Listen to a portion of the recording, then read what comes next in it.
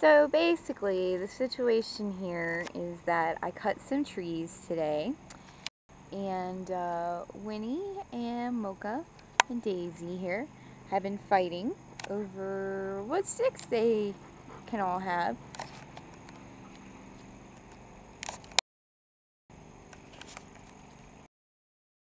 This is, of course, Mocha's second favorite activity.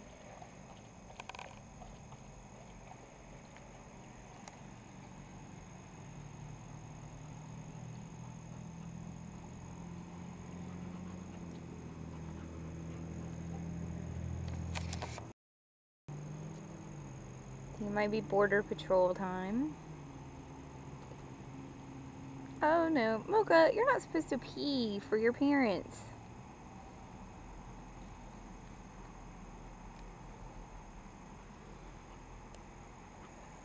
Say hello, London.